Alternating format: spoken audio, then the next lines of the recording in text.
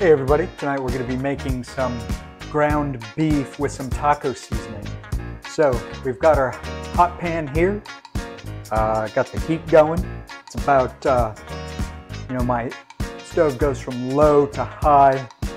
You've got four is pretty much your mid-level heat. I've got it on a three, which is kind of a low to mid high temperature. Uh, first add some butter.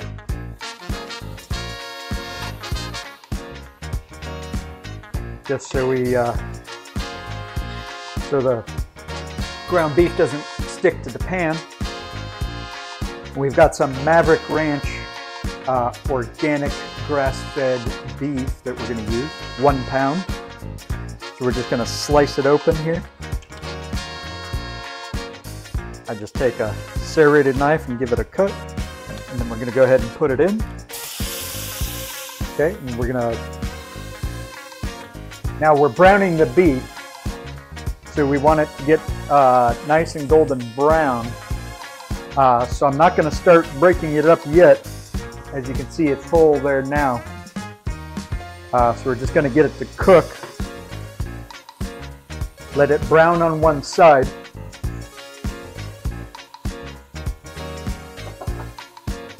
While that's going, I'm going to get a little ramekin here. And if you could see, well, you can't see here, but I'm going to make some taco seasoning. Um, while that browns, see the pan a little bit better. Okay, so now it's browning on one side. I'm going to go ahead and flip it over.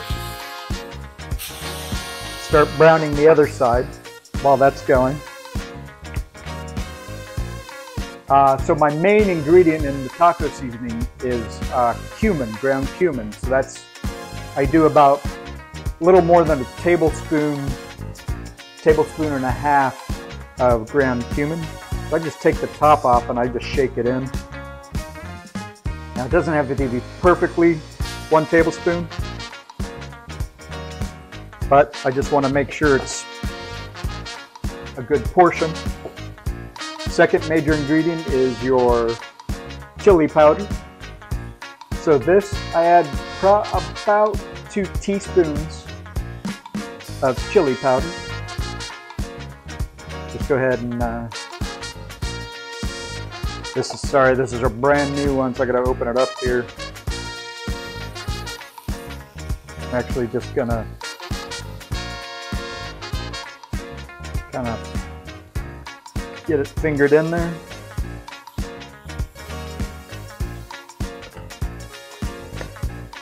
Okay, and as you can hear it sizzling now, I'm going to go ahead and uh, start breaking the ground beef up.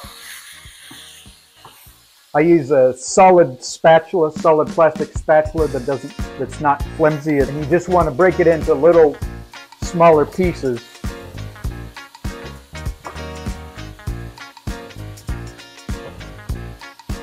And then you just let that brown and as it browns you're going to have water that's inside start to seep out.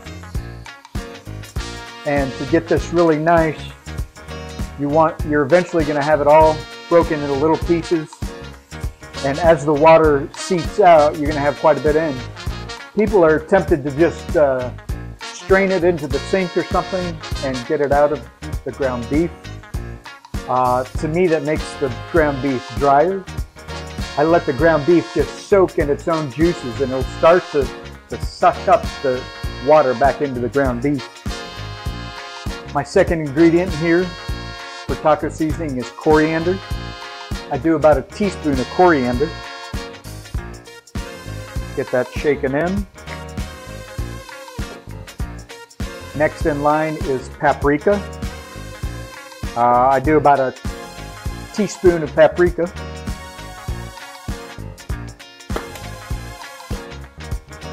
And then I like to add garlic powder, not garlic salt. I do about a teaspoon of garlic powder.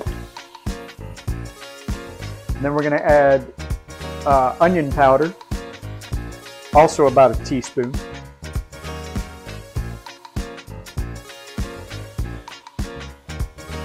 And then my last ingredient is Redmond's Real Salt. And what I do is I, I, I do about, about a teaspoon and a half of, of Redmond salt. And all I do is just uh, shake it into my hand. As you can see, it's approximately a little more than a teaspoon. And depending on how salty you want it, and then just add it in. You can see all the ingredients in there. Just add in the salt. I don't use a utensil or anything. I just, I, to mix it up, I just shake it back and forth. Kind of tap the sides.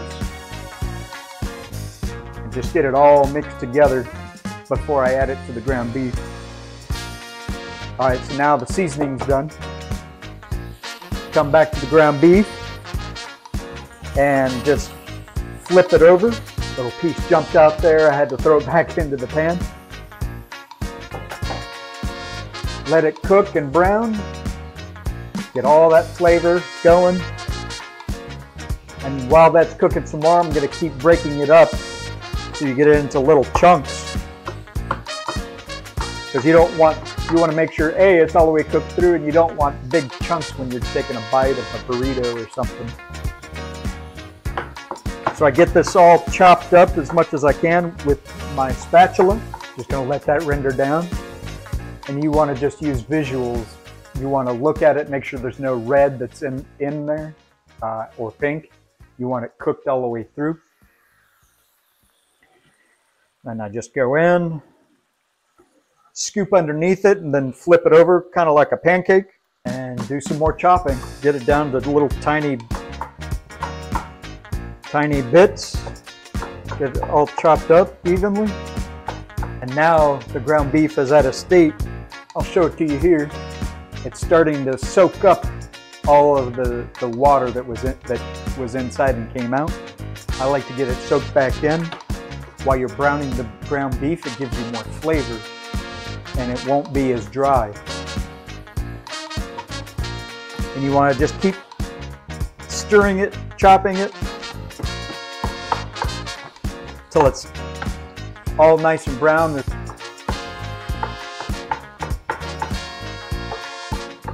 before you add any of your other ingredients. Now this is carnivore diet friendly meal. Uh, I do seasoning, uh, but what I'm gonna do, I'm gonna use these, uh, these are Egglife wraps. These wraps are made of egg whites. They're not yellow, that's just the packaging. You can see through it, but you pull it out here and as you can see, it's just white. They're round.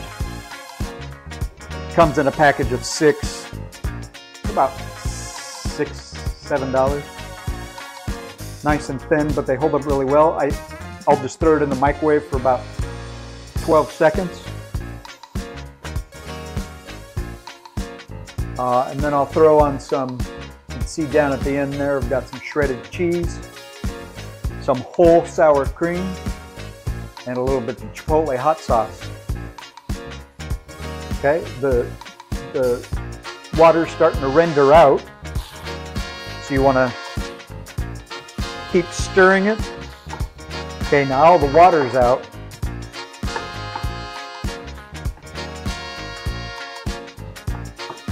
So now the water's back into the ground beef. What you want to do is I actually add in a half a cup of water and then I take my taco, homemade taco seasoning that is healthier for you.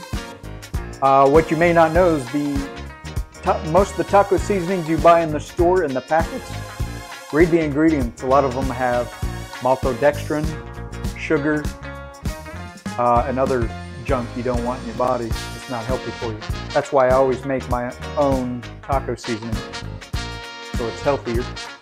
Go ahead and sprinkle the seasoning into the pan with the ground beef and your water and then get it all mixed in. all while maintaining uh, temperature between a 2 and a 3 on your stove. Do one last little chop through. Make sure the seasoning gets all integrated into the ground beef. Then I like to shake it flat on the on the stove, kind of flatten it out. Then I just like to get a last uh, last minute sear in it. You can hear the, the water starting to bubble again. I just like to get a little little more mixture to it with the heat, seasoning, uh, the juices from the water and the beef itself. Give a little more flavor. Uh, also, it has less juice when you, you're adding it to your shell. You can see the steam coming up here. Okay, and at this point, and there you go. If there was such a thing as smell-o-vision, you'd be smelling this right now and go, ooh, that smells like good Mexican food, man. Tacos.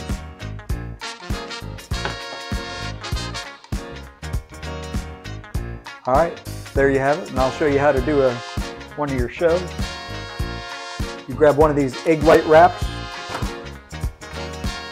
toss in the microwave, 15 seconds. While that's cooking, the meat is just cooling down.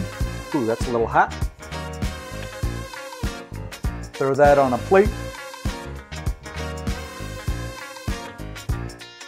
Grab your spatula, grab approximately one scoop. You don't want too much now, so that's probably a, then grab myself a fork. Well, hold on, this, uh, let me grab another sour cream. This one doesn't look quite right. All right, got another sour cream here. Looks a lot better.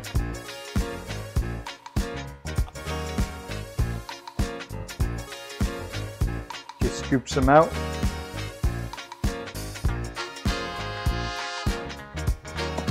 Put it on your taco. Probably should have done the cheese first, let it let the heat of the meat melt it a little bit, but it's all good, we'll still get it added.